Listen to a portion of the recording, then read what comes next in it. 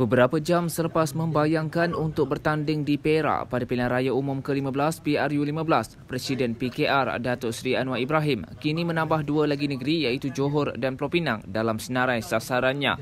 Menjelaskan cadangan diterima ialah Perak secara am, Ahli Parlimen Port Dickson itu berkata ada juga pihak menyarankan beliau bertanding di Johor selain permintaan kembali bertanding ke Pulau Pinang.